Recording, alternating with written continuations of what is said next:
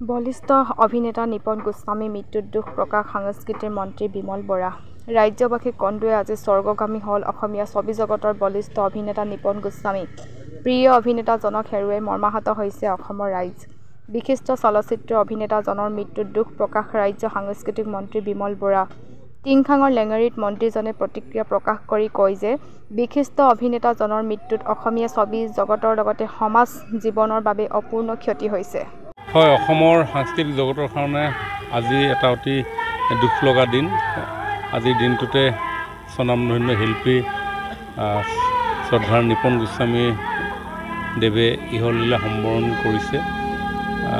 ষাঠি দশকেৰে পৰা অসমৰ সাংস্কৃতিক জগতখনত চলচ্চিত্ৰ জগতখনত বলিষ্ঠ অভিনয়েৰে অসমৰ চলচ্চিত্ৰ উদ্যোগটোক যথেষ্ট প্ৰাণ দি যোৱা এই বিশিষ্ট অভিনেতাজনৰ মৃত্যুত আমি মৰ্মাহত হৈছোঁ। মই তেখেতৰ শোকসন্তপ্ত পৰিয়ালবৰ্গলৈ সমবেদনা জ্ঞাপন কৰিছোঁ। বিদেহ আত্মাৰ চিৰশান্তি কামনা কৰিছোঁ।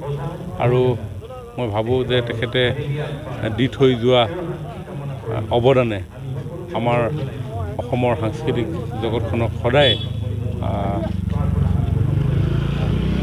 উৎসাহিত কৰি যাব। নতুন প্ৰজন্মইও তেখেতে আগবঢ়োৱা অৱদানক বিশ্লেষণ কৰি জীৱনৰ বাটত আগুৱাই যাবৰ কাৰণে প্ৰেৰণা আৰু সাহস।